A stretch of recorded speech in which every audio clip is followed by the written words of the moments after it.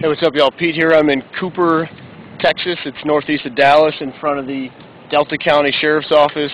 Uh, last week, I put up a story on copblock.org uh, soliciting feedback, story leads from people, noting that I was going to be driving from Austin, Texas, to North Carolina.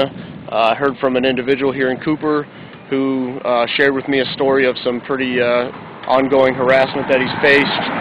I interviewed him yesterday night and this morning came down to the Delta County Sheriff's Office where some of the folks involved in uh, his allegations work. Uh, I showed up at 8 a.m. hoping to talk to the chief or somebody else like that, or sorry, the sheriff or somebody else uh, to figure out some policies, see if they even follow their own rules. I was told uh, to wait a moment. The sheriff should be in shortly. Uh, I waited until 9 a.m. Then I was told that uh, he was going to be over a court, which is across the street, and that they had a full docket today, uh, so um, he might not be accessible until after lunch.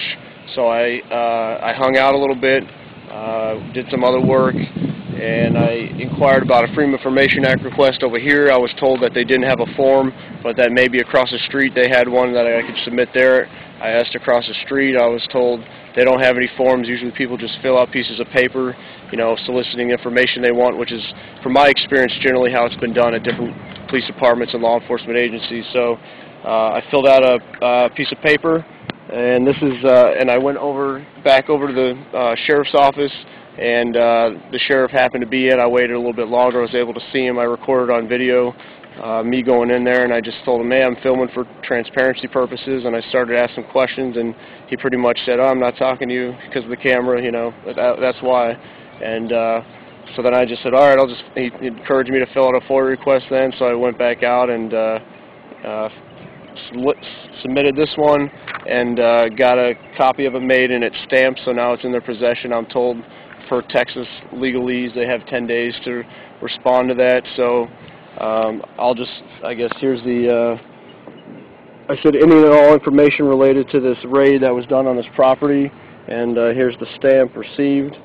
So we'll see where this goes. Uh, I'm going to continue on now, drive, uh, drive through Arkansas, uh, stop, meet up with some folks in Tennessee, and uh, should have some of this content online as these pieces continue to come together. But what I will say for my time here in Cooper is it is good to know that there are some folks starting to stand up against the abuse that there's, they're uh, enduring by some of these folks with badges who, uh, you know, it's kind of like a classic good old boys network, it seems.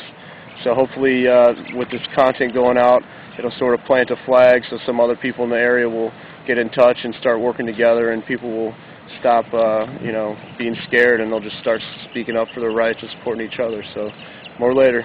Take care.